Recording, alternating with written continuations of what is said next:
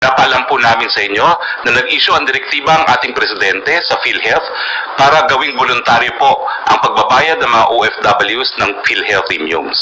Alinsunod dito, inanunsyo na po ni Secretary ah, Duque ng Department of Health na sinususpindi po niya ang item 10 2C ng Implementing Rules and Regulation ng Universal Healthcare na nagpapataw ng mas mataas na contribution habang meron tayong problema po sa COVID-19.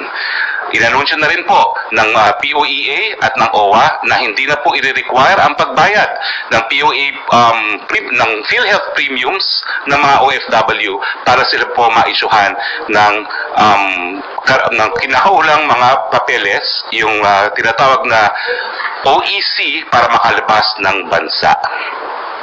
Bilang ah, pangunahing nagsulong po ng Universal Healthcare Law sa 17th Congress, lilinawin ko lang po, wala po sa batas na nagsasabi na dapat patawan ng mga OFWs ng karagdagang um, POE, na karagdagang premium sa pamamaraan na nais pong ipatupad ng PhilHealth.